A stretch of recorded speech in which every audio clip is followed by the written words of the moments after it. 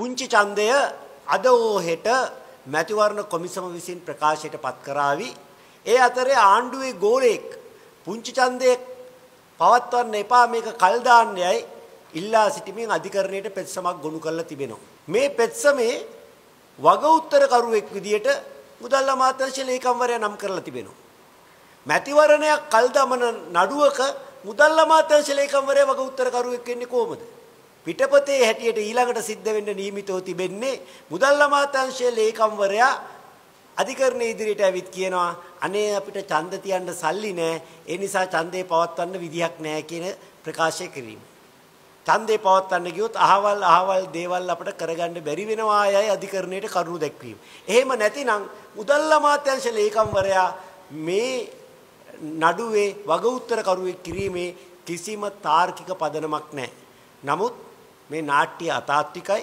මොකද ආණ්ඩුවට මුදල් නැහැ කියන තර්කය නම් අධිකරණයට ඉදිරිපත් කරන්න බෑ.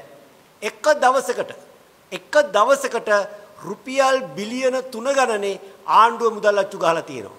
ඒ කියන්නේ දවස් 3ක අච්චු ගහන මුදල් ආණ්ඩුව විසින් මැතිවරණ කොමිසමට ලබා දුන්නොත් මේ ඡන්දය පවත්වන්න පුළුවන් වෙනවා.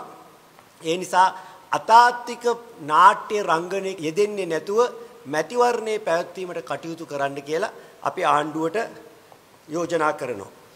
ආණ්ඩුවට තවත් ගැටයක් ඉතිරි වෙලා තියෙනවා. නාම යෝජනා දිනේට කලින් පාර්ලිමේන්තුවේ සම්මත වෙන පනතක් කරා මැතිවරණේ කල් දැමීමේ අවස්ථාවක් ආණ්ඩුවට තියෙනවා.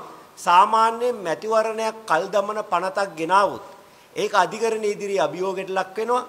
අධිකරණයේ දැනටමත් තීරණය කළා තියෙනවා මැතිවරණයක් කල් දමන්නට නම් අනිවාර්යයෙන්ම ජනමත ਵਿਚාරණයකදී ජනතාවගේ අනුමැතිය ලබාගත යුතුයි කියලා. ඒකෙන් බේරෙන්න නම් දැනටමත් අධිකරණයට යෑමේ අවස්ථාව පසු කරපු පනත් කෙටුම්පතකට කාරක සභා අවස්ථාවේදී මැතිවරණ කල් දැමීමේ විධිවිධාන එකතු කරොත් අධිකරණයට යෑම මග ඇරලා මේ වැඩේ ආණ්ඩුවට කරගන්න පුළුවන්. දැනටමත් නාම යෝජනා අවස්ථාවේදී තරුණයන් සඳහා 125ක් වෙන් කළ යුතුයි කියන මැතිවරණ නීති සංශෝධන 50 කෙටුම්පතක් අධිකරණයේ ඉදිරියට යෑමේ අවස්ථාව පසු කරලා පාර්ලිමේන්තු න්‍යාය පුස්තකයේ තියෙනවා. මෙන්න මේ 50 කෙටුම්පත විවාදයට අරන් කාරක සභා අවස්ථාවේදී මැතිවරණ කල් දමන විධිවිධානයක් 50 කෙටුම්පතට ඔබන්න පුළුවන්. ආණ්ඩු ක්‍රම ව්‍යවස්ථාව අනුව නම් යම් 50 කෙටුම්පතක හරයට ආගන්තුක දේවල් කාරක සභා අවස්ථාවේ සංශෝධන විදියට ගේන්න බෑ.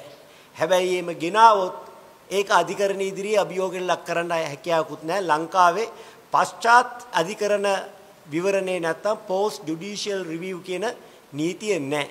අපි ගෙනා යුතුයි කියලා අවස්ථා ගණනාවකදී ආණ්ඩුවට පෙන්වලා දුන්නත් කිසිම ආණ්ඩුවක් ඒ බලය අධිකරණ ලබා දීමට කටයුතු කළත් නැහැ.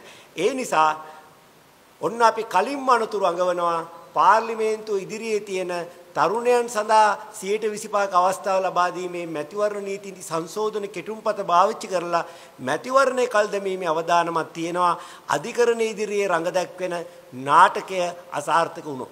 ජවිපේ භීෂණයේ යුගයේදී ඡන්ද දෙන පළවෙනි දස දෙනා මරා දමනවා කියලා ජවිපේ තර්ජනය කරමින් ඡන්ද පොලට එන අය වෙඩි තබා මරා දමද්දි. ඡන්ද කටයුතු වල යෙදී සිටි නිලධාරීන් මරා දමද්දි මේ රටේ මැතිවරණ නවයක් පැවැත්වුවා ප්‍රජාතන්ත්‍රවාදයේ නාමයෙන්. ඒව් රටක අතාත්වික රංගන යෙදමින් ජනතාවගේ ඡන්දායිතිය කොල්ල කන්න හදන්න එපා. ආණ්ඩුව බොරු හේතු ඉදිරිපත් කිරීමෙන් තොරව පැකිලෙන්නේ නැතුව ජනතා අධිකරණයේ ඉදිරියට පැමිණෙන්නේ නැහැ කියලා අපි ආණ්ඩුවෙන් ඉල්ලා සිටිනවා.